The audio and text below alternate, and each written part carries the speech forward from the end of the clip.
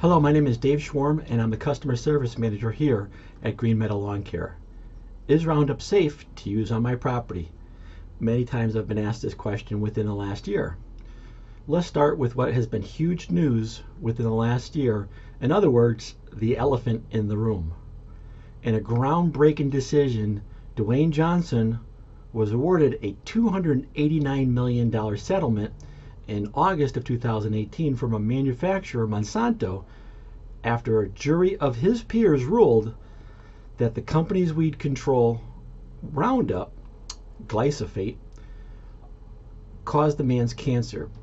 Here's a timeline of the events. Number one, in August, jurors unanimously agreed and awarded him a total of $289 million, with 250 million in punitive damage and 39.25 million in compensatory damages.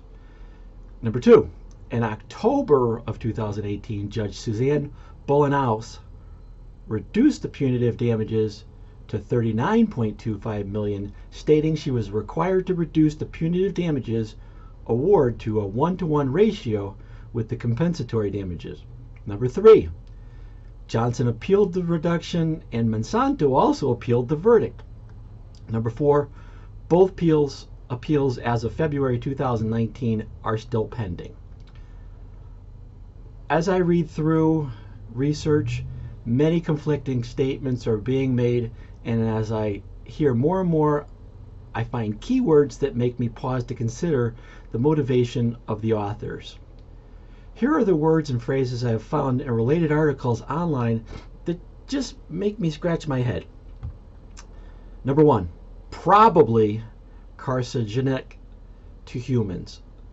This was reported by the World Health Organization's International Agency for Research on Cancer in 2015.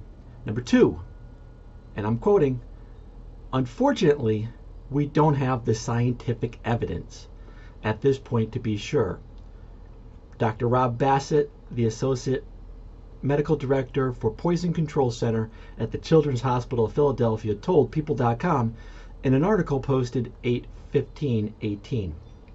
Number three, according to the National Pesticide Information Center, when high doses were administered to laboratory animals, some studies suggest that glyphosate have carcinogenic potential Studies on the cancer rate and other people's provided conflicting results on whether the use of glyphosate containing products is associated with cancer. This information is currently posted on their website. Number four, very bold statement. If you accept science, you accept Roundup does not cause cancer. Please follow the link below to the related article. This is the title of an article that was written by the American Council of, on Science and Health. And the list goes on and on. There is so much information available that the waters are very clouded on this topic. There are very intelligent and passionate people on both sides of this topic. Here's my takeaway. I've applied Roundup safely for now 29 years as a Connecticut licensed ornamental and turf supervisor, which is the highest level of licensing given by the state to apply control products like Roundup. I faithfully follow all label instructions and use personal protective equipment whenever mixing or applying these products. The state also requires me ongoing education to renew my license. If you're going to use the product like Roundup on your property and want to minimize the risk of exposure to you and your family, hire a professional you trust to do it. Thank you. Again, my name is Dave.